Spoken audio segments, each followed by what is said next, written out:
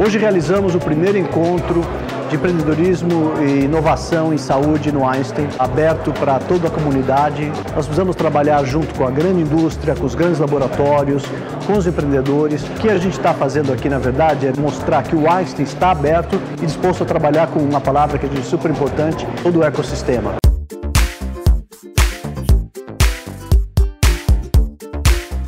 A iniciativa do ICE está sendo excelente para fomentar o empreendedorismo no Brasil. Muito do que a gente aprende aqui da prática clínica, a gente leva para a nossa startup e tenta fomentar com novos projetos, insights, para desenvolvimento de novos produtos de impacto na área de saúde. Mais um evento do Einstein onde reúne as principais lideranças que estão movimentando a saúde no sentido de buscar uma forma mais sustentável de entregar cuidado à saúde à população.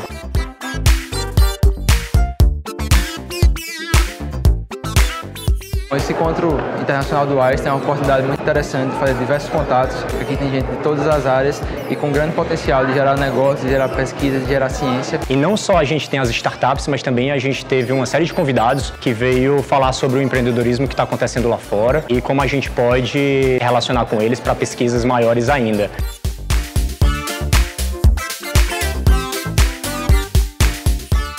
We have an ecosystem that's called Brightlands in the Netherlands. Einstein is building an ecosystem here as well. This is a very important uh, meeting involving science, involving business, smaller companies, larger companies, investors. We just want to see what we can learn from each other and also whether we can collaborate.